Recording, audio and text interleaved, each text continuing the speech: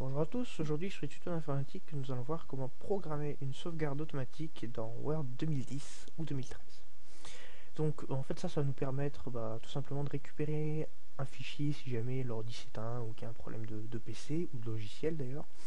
Donc on va voir un petit peu comment programmer ça de façon à ne pas être embêté le jour où euh, on quittera sans enregistrer par erreur.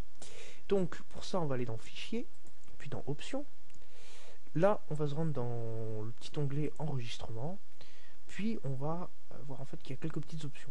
Donc enregistrer les informations de récupération, toutes les. Alors là, en fait, on va choisir tous les combien de temps on va enregistrer ça. Moi, je vous conseille de mettre un, maximum de temps assez réduit, donc 2-3 minutes.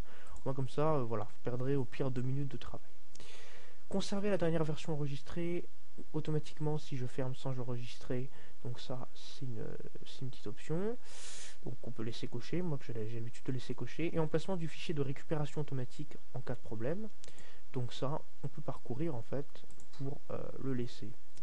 Et le dossier par défaut dans lequel il va être enregistré, le fichier euh, donc récupéré. Donc voilà, après on clique sur OK, et euh, l'enregistrement automatique se fera en cas de problème de bah voilà, d'ordi qui s'éteint ou de quoi, et on vous proposera après de restaurer le document. Voilà, donc merci d'avoir suivi ce tuto et à bientôt sur les tutos d'informatique.